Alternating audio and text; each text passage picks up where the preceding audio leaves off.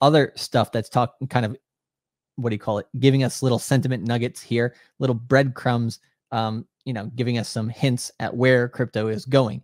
So this is also very interesting. Kazakhstan is to integrate its central bank digital currency with Binance's BNB chain. So BNB chain, holy shit. Like CZ, hats off to you, bro, for getting this deal done, right?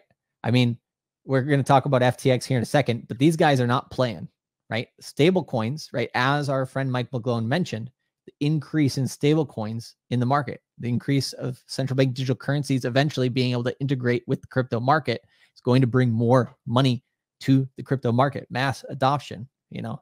So yeah, um, BNB grabbing a piece of that global influential pie. Crazy, crazy.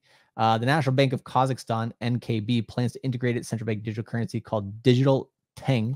I think that's how you pronounce it, uh, with Binance's BNB chain. So just a huge W for BNB long term. And if this is just the first domino, just think of what other countries they're going to help with their central bank digital currency, right? I know CZ did a, a whole huge um, like relationship uh, growing in Africa um, back in, I think it was maybe 2018, 19, right?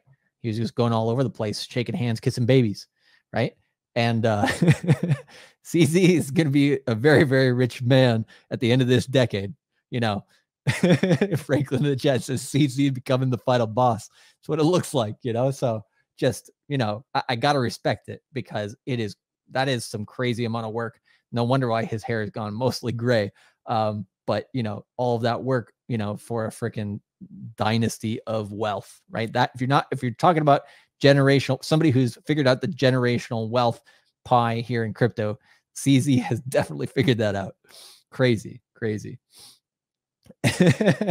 Soon to be breaking. Binance announces takeover of Kazakhstan. I, maybe, maybe not. I don't think so. But CZ has not yet um, come up with a standing army, um, except for you know on Twitter.